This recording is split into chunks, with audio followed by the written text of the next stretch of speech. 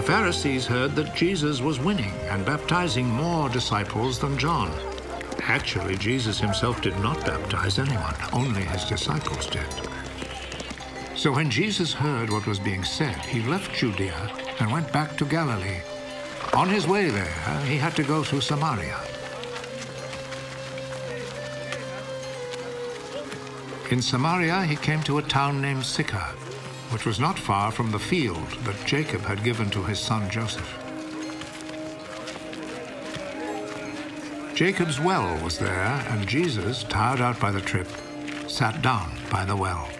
It was about noon.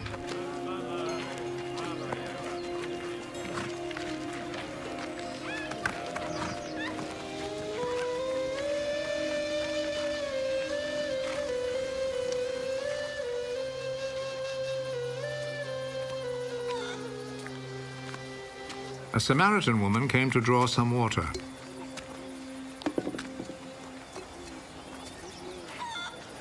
Give me a drink of water. His disciples had gone into town to buy food. You're a Jew and I'm a Samaritan. So how can you ask me for a drink?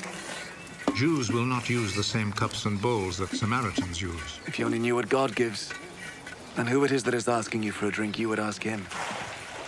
And he would give you a life-giving water. Sir, you don't have a bucket and the well is deep. Where would you get that life-giving water? It was our ancestor Jacob who gave us this well. He and his children and his flocks all drank from it. You don't claim to be greater than Jacob, do you? Those who drink this water will get thirsty again. But those who drink the water that I will give them will never be thirsty again. The water that I will give them will become in them a spring, which will provide them with life-giving water and give them eternal life. Sir, give me that water. Then I will never be thirsty again, nor will I have to come here to draw water. Go and call your husband and come back.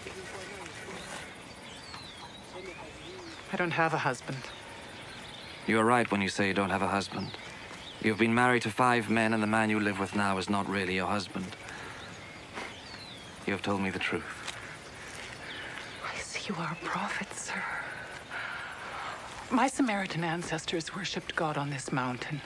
But you Jews say that Jerusalem is the place where we should worship God. Believe me, woman.